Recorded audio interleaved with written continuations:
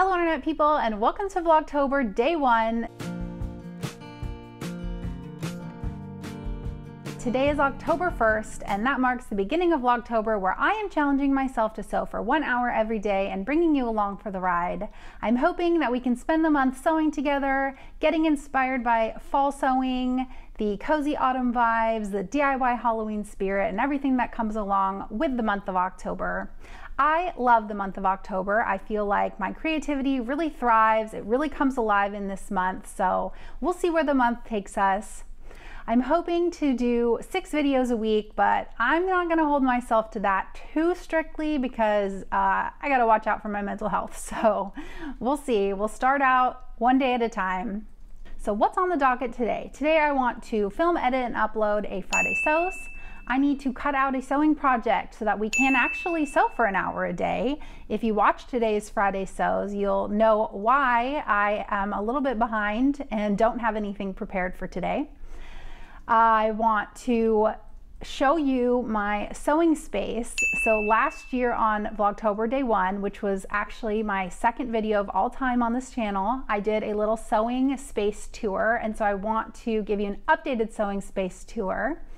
Uh, let's see, that's three things. Number four, I want to make a pizza crust for dinner tonight, which requires a couple hours of rising time. So I got to get that going at some point. I also want to call my aunt because I haven't talked to her in like a month and I really enjoy having conversations with her. So I want to call her and uh, yeah, I think that's just about it. It's actually um, 1243 and we're off to a great start because I actually haven't even drank any water today. So we're starting off strong, starting off dehydrated. well, we better get on to it if we're gonna actually get everything done today. So let the Vlogtober commence. Hello Internet people and welcome back to another edition of Hashtag Friday Sews. Okay, there's my pizza dough ready for rising. I realized I didn't show you what I'm wearing for the first day of Vlogtober. I am wearing my Wilder gown that I made this summer and the weather is still warm enough to wear it. So taking advantage of that while I can. Welcome up to the sewing loft. Last year on the first day of Vlogtober, I filmed a sewing space tour and I had just redone the sewing space and I did show a little bit of before and after in that video so I'll put a link to it but I thought it might be fun to show you the space exactly one year later as it is and give you an updated tour of it. Okay, so I am standing on the stairs because it's kind of hard to film and get back far enough to give you a good overview of the space, but let me just give you an overview without making you too dizzy.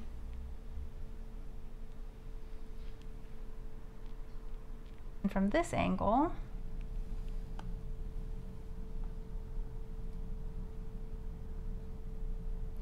So let me just go left to right and show you how I organize the space. So when I was deciding what to do with it up here, my two main goals were storage and lighting because there's actually no power plugs up here. We run a couple cords down to an outlet by the stairs. And so I needed to get some good lighting up here. So those were the two main goals.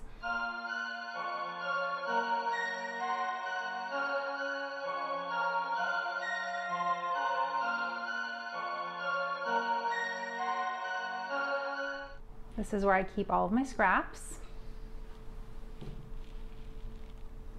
This cart here to the left holds the bulk of all of my sewing supplies. Let me show you inside the drawers. So in this top one is manuals and other educational materials. The drawers actually aren't all that organized, but um, this has some machine stuff, screwdriver, my serger, accessories. This is all pins and needles. In this drawer, I keep all the pieces for whatever project I'm working on. So any pattern pieces or instructions or random things, I just keep in there. This drawer has wonder tape, stay tape, um, some serger thread, I don't know, the box for the loop turner. Do I need to keep that? Uh, bias tape, twill tape, some other random things in that drawer. Uh, all my buttons are in this drawer. My zippers are in this drawer. Um, this is all elastic. And this last drawer has some miscellaneous items, an apron. This is for a project, um, other craft things for like other crafts in that drawer.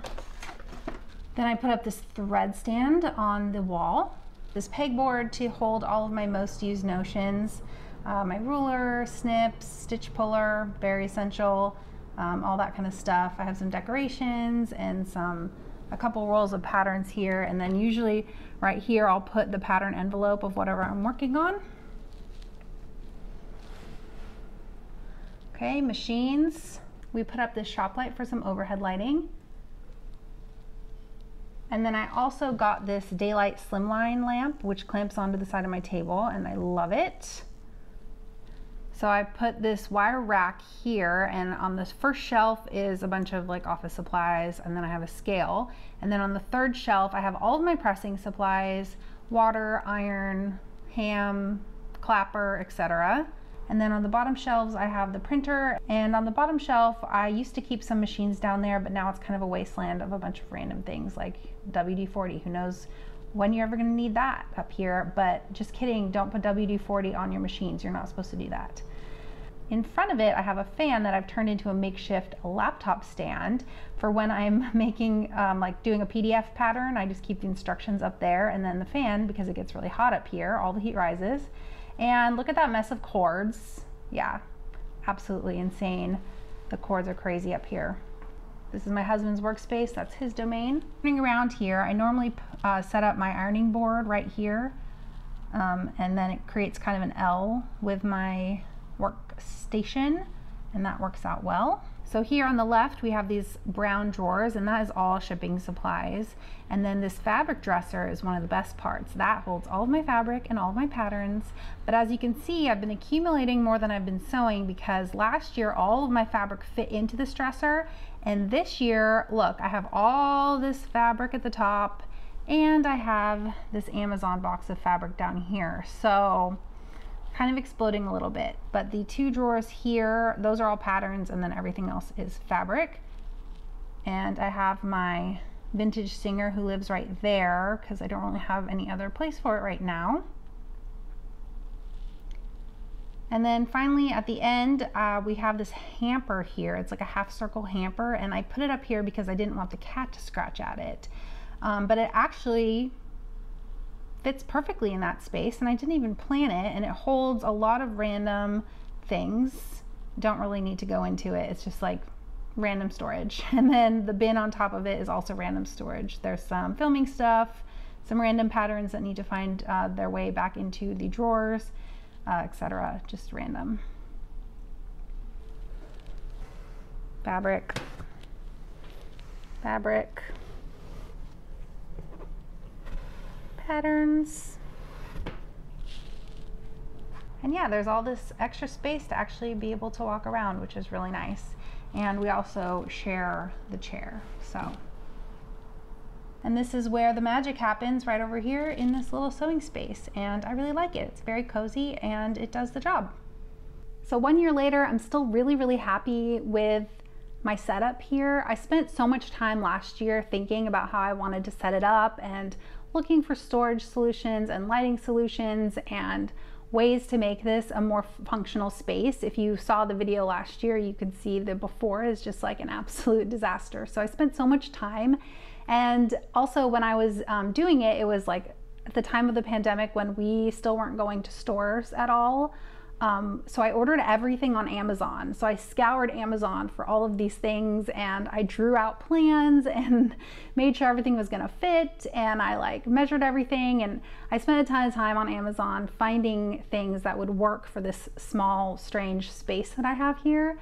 So actually, if I can still find links to any of these pieces, I'll go ahead and put them um, in the description box below, just in case you have a small sewing space and you're looking for pieces that will work for you as well um, for storage or lighting. I really like my slim light and I really like my honeydew cart. So, and I actually really like the dresser. Actually, you know, I'm just really happy with it still. One year later, I'm really happy with how this space came together. So I hope you enjoyed this updated sewing space tour. So I'm here editing my Friday sews it's 5:44 and I'm so hungry. I think my pizza dough is finally ready, so I'm going to go out to what's left of my garden and find some toppings. Hi. Looks like we have a few fish peppers. Okay, I can't do this one-handed. Hold on. I think I'll get some of these green onions too. My basil's not looking so good. It's supposed to be purple basil, but there's really nothing left on here that's purple, and these green leaves are kind of bitter, so I'm not gonna get any of that. And I think I'll pick the rest of these eggplants too. So I harvested the rest of the fish peppers that were ready. I'm gonna put them in the freezer to save. Um, the rest of the eggplants that looked like they were ready, some green onions and some chives dough. Okay, so I think that concludes Vlogtober day one for me. I'm gonna go eat this pizza and to celebrate the end of day one, I'm going to have my very favorite pumpkin beer. This is the Elysian Night Owl and watch some TV and relax. I'm sorry there was no actual sewing in this video, but tomorrow I'm hoping to get my next project cut out. So I hope you'll stay tuned for that. Happy Friday and I'll see you guys tomorrow.